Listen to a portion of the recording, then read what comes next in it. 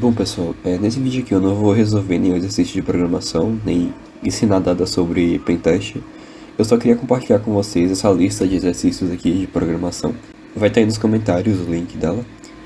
Em troca eu só queria que você por favor se inscrevesse no canal e deixasse um like nesse vídeo para passar esse conteúdo para mais pessoas. Bom, basicamente aqui tem mais 50 questões, certo? É, e essas questões elas estão divididas por dificuldade. Então tem aqui fácil, médio, avançado, difícil e extremamente difícil. É, eu não vou resolver nenhum aqui. Se vocês quiserem uma questão específica que vocês não conseguiram resolver para eu trazer aqui em vídeo, é só pedir nos comentários, tá? Mas basicamente tem aqui as 50 questões, certo?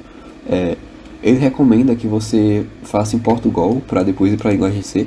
Mas assim, você pode fazer a linguagem que você quiser, sei lá, Python, Java, o que você quiser e você pode usar, né? Até porque só vai mudar a linguagem.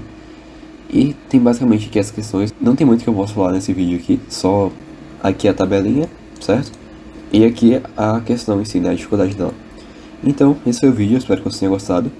É, se divirtam aí fazendo essas questões e aproveitem bastante, tá bom? E é isso, até o próximo vídeo, muito obrigado.